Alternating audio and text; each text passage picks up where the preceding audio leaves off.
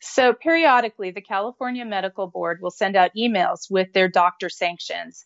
And as long as I've been a health reporter, I have reviewed those emails and plugged in all the doctors into the medical board's database to see what happened. In some cases, the doctors are well known and it merits a story. Uh, in this case, I looked at Dr. Hall and saw that she had been a prominent celebrity doctor in the field of bioidentical hormones. And I said, this is probably worth a story. Then I reviewed the medical board's report on Dr. Hall and spoke with experts, and uh, the result is what you see.